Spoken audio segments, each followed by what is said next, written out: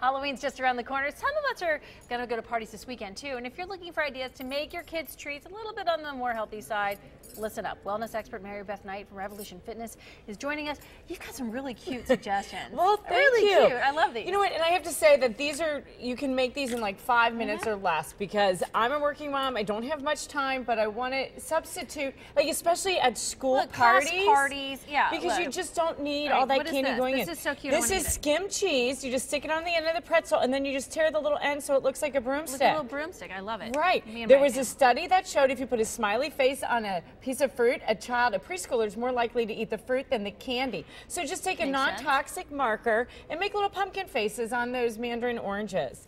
Here's one of my favorites. Just throw a little candy corn in the bottom of this little um, food prep baggie and then fill it up with popcorn and you got a little healthy treat. And just keep it with the colors of the season, a little cantaloupe and a little dark black grape on a straw so the kids don't get hurt by the skewers.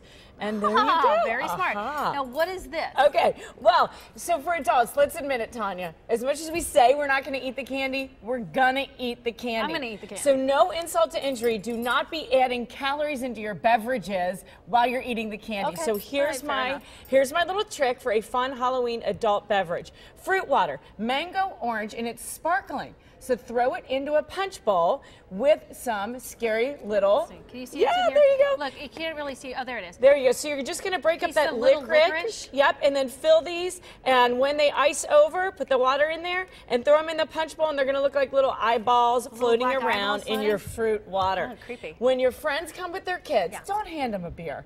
That's really not helping the adults, okay? They think it is. They think it is, but it doesn't help the next day, and we all have to go to work. So how about a little vitamin water zero? It's oranges with the seeds and keep you hydrated, and will not provide a hangover the next morning for those adults. Why do you have money in an iTunes? I have money and an iTunes gift card. Okay. Because you know they're coming home with bags full of candy. Yeah. So I buy back the candy. With like you. you With an iTunes gift card, or my kids are young, five bucks goes a long way. They will give me all the candy. I'll donate it, save some teeth in the process, and only cost me a couple of bucks. You bring it by the station. We'll eat it.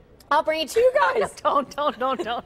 We'll eat anything here, by the way. I know. These are great ideas. I love it. And here's the nice thing is that we have it all on our website for you, wcpo.com, of course. Just go there and check it out. And really, step by step, you're going to help people save a few calories. One nice thing, and I was telling you, and think about this for your neighborhood. In our neighborhood, we all meet before trick or treat. At like 5 o'clock, everyone brings something to eat. The kids get to eat something. So they don't go out at 6 o'clock and just then eat candy. Eat the candy as they're going door to door. Now fill their bellies up with some good food, fill yourself up with some hydrating beverages, and you're gonna minimize the damage because the other holidays are right behind us with Ah. five to ten pounds. So let's not gain any Oh, I don't Halloween. need any more pounds coming on me. I know. Um, Mary Beth, always love seeing you. Always love your ideas. Thanks so much. Thanks.